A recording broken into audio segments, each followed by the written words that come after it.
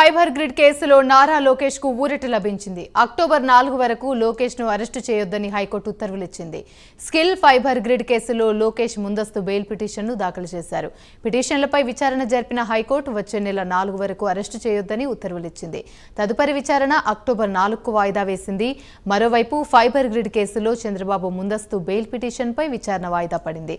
తదుపరి విచారణను వచ్చే నెల నాలుగుకు వాయిదా వేసింది. ఇన్నర్ రింగ్ రోడ్ కేసులో చంద్రబాబు ముందస్తు బెయిల్ పిటిషన్పై వాదనలు వింటుంది కోర్టు.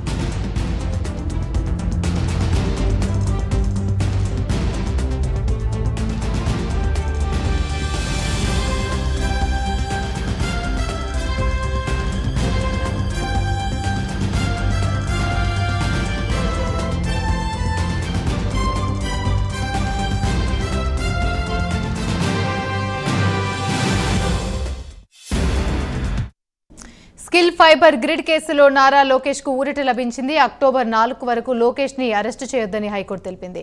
ఇదే అంశానికి సంబంధించి మరిన్ని వివరాలు మా ప్రతినిధి రవికృష్ణ లైవ్ ద్వారా మరిన్ని అప్డేట్స్ అందిస్తారు. రవికృష్ణ చెప్పండి స్కిల్ ఫైబర్ గ్రిడ్ కేసులో నారా లోకేష్కి అయితే ఊరట లభించింది. అక్టోబర్ నాలుగు వరకు అరెస్ట్ అరెస్టు చేయొద్దంటూ కూడా హైకోర్టు అయితే చెప్పింది. దీనికి సంబంధించి అప్డేట్స్ ఏంటి?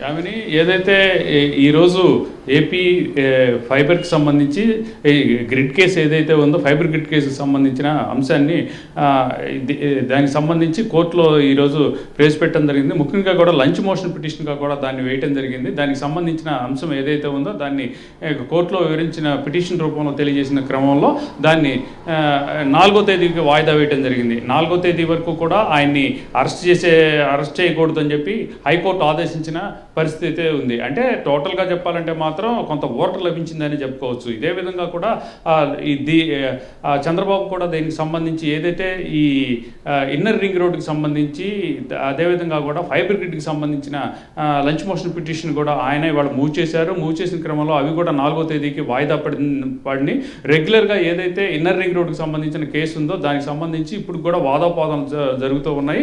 ఇప్పటికే ఒక పక్కన చంద్రబాబుకి సంబంధించినటువంటి ఈ లాయర్లో లోద్ర తన వాదనలు వినిపించారు. అదేవిధంగా కూడా సిఐడికి తరపున న్యాయవాది అయినటువంటి శ్రీరామ్ కూడా తన వాదనలు వినిపించారు. దీనికి సంబంధించి ఇప్పుడైతే ప్రొసీడింగ్స్ అయితే జరుగుతున్న పరిస్థితి అయితే కనపడుతుంది. మొత్తానికి లోకేష్కి ఈరోజు ఉదయం ఏదైతే ఇన్నర్ రింగ్ రోడ్డుకి సంబంధించినటువంటి కేసు ఉందో దానికి సంబంధించిన వ్యవహారంలో ఫార్టీ వన్ ఏ నోటీసులు ఇవ్వాలని చెప్పి హైకోర్టు భావించింది. దానికి అనుగుణంగానే సిఐడి వెంటనే కూడా దాన్ని ఫాలోఅప్ చేయడం జరిగింది. ఇప్పటికే ఆరు స- ఆరు ఆరు సభ్యులతో ఉన్న సిఐడి బృందం ఢిల్లీ కోర్టుకి ఢిల్లీకి వెళ్తాం జరిగింది. ఢిల్లీలో ఆ లోకేష్కి ప్రజెంట్ దానికి సంబంధించి ఏదైతే దానికి సంబంధించినటువంటి ఫార్టీ వన్ నోటీసు అందించడం జరుగుతుంది. అదేవిధంగా కూడా అక్కడ ఉన్న న్యాయమూర్తి కూడా చెప్పింది ఏంటంటే జరిగేటువంటి కేసులు పెద్దానికి కూడా ఆయన రెస్పాండ్ కావాలి. అదేవిధంగా కూడా ఆ Right. కేసులన్నిటికీ కూడా అతను అటెండ్ కావాలి అని చెప్పి కోరినటువంటి క్రమం. ఇప్పుడు ప్రస్తుతం ఇప్పుడైతే కేవలం చంద్రబాబుకు సంబంధించినటువంటి రెగ్యులర్ బెయిల్కి సంబంధించిన కేసు మూవ్ అవుతున్న పరిస్థితి అయితే కనపడుతుంది. Right thank you Ravikrishna